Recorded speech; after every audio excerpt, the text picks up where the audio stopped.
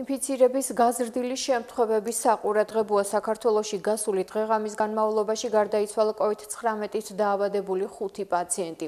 გამოვლენილია კორონავირუსის 616 ახალი შემთხვევა. ქვეყანაში არსებული ეპიდვითარების ფონზე როგორია ინფიცირების მაჩვენებელი შიდა ქართლში და რას უკავშირებენ სპეციალისტები ბოლო პერიოდის გაზრდილ სტატისტიკას?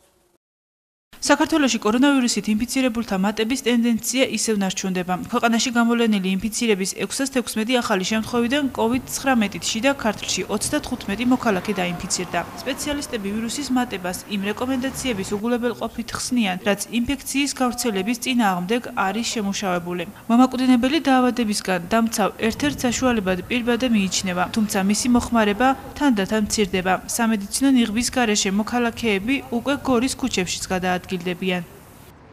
შეიძლება ნეტვორკი კეთია, მოი. თავოიწ.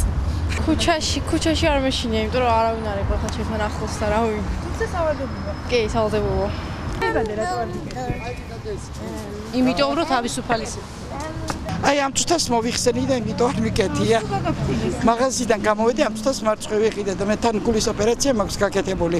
ფორმაასიც თან დამოქვს, მე თვითონ უჰაერობა მაქვს და მიტო. კი, კი, კი, აი ამ წუთში მოვიხსენი ჯიბეში მიდევს ახლა. საზოგადოების ის ნაწილი, რომელიც ქუჩაში პირბადის გარეშე გადაადგილდება, მოსახლეობის ნაწილის მხრიდან გაღიზიანებას იწევს. ისინი, ვინც ვირუსის პრევენციის მიზნით გაცემულ რეკომენდაციებს ასრულებენ და სამედიცინო ნიღაბსაც მოიხმარენ, ურჩ მოქალაქეებს მოუწოდებენ ჯანმრთელობას გაუფრთხილდნენ. ძალიანაც უკავშირდება პირბადეს, მებო აუცილებელია პირბადის ტარება. მოსახლეობამ ეს უნდა გაითვიცნობიეროს.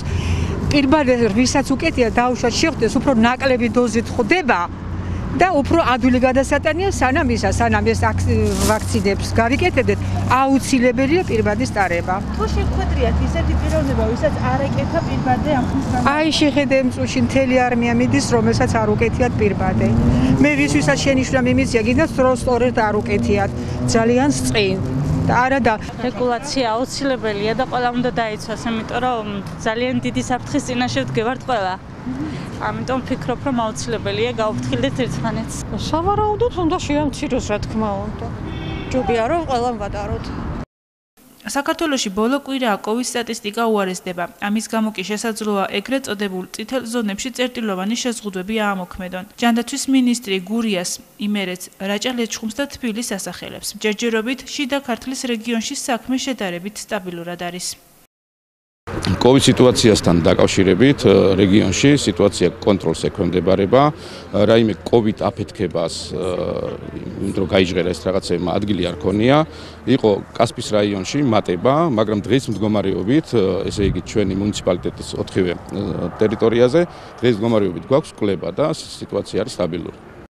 სპეციალისტები მოსახლეობას მიმართავენ, რომ დაიცვან ვირუსის პრევენციის მიზნით არსებული რეკომენდაციები, რათა ქვეყანაში ეპიდვითარება კიდევ უფრო არ დამძიმდეს. ისინი გვირჩევენ, რომ დავიცვათ პირადი ჰიგიენა, მოვერდოთ თავშეყრის ადგილებს და ვატაროთ სამედიცინო ნიღაბი.